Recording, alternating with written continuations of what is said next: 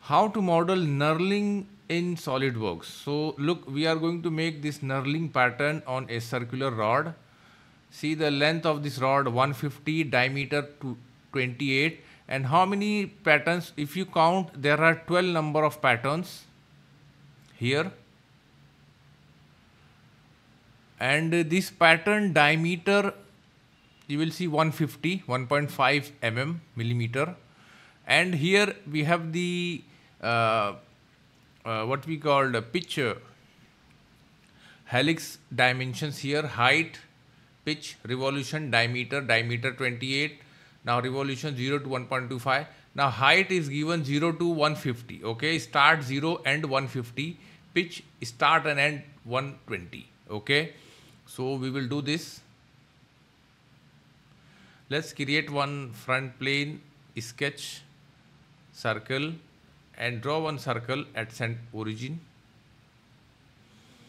and define the diameter 28 and extrude. And uh, I am going to take this one mid plane. This is important for us. 150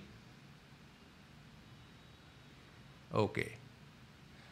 Now material silver is given so I am going to change the appearance from here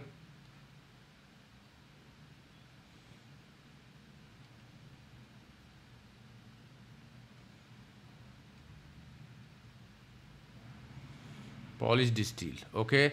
Now let's create first I'm going to create a uh, what we called uh, helix and spiral for this. So select this face sketch convert entity. We need this circle. Now simply exit and drop down this curve and choose helix. Now look this circle is selected. Now this is the R dimensions defined by pitch and height constant variable. Now height 0 to 150 so let's say 150 now the pitch. Pitch is given 120 okay? Now okay start angle i'm going to keep 90 degrees. So this is going to start from just uh, the upper corner clockwise. Let's say fine. Select this face sketch now I am going to draw one diagonal. 4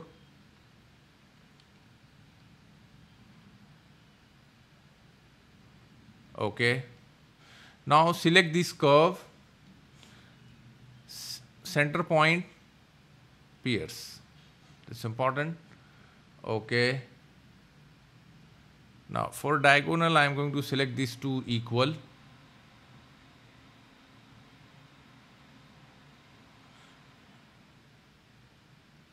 connect. Now select this one make it horizontal smart dimension. Now this dimension given 1.5 now see this is fully defined sketch.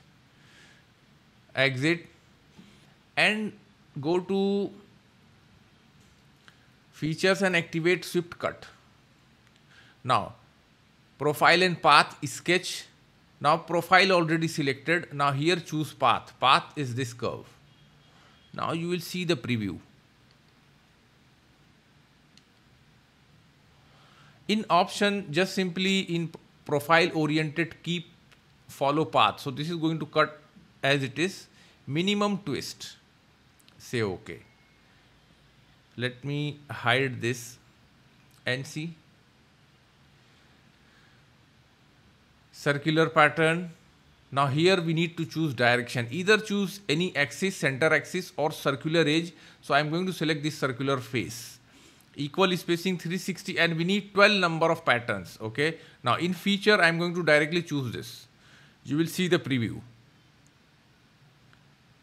Check geometry pattern. Say OK. Now we need to mirror this. Okay. So we have go to mirror and we need to choose one mid plane. So mid plane for this front. Now pattern here already selected. Choose both. Cut and circular pattern. Here choose geometry pattern. Say okay.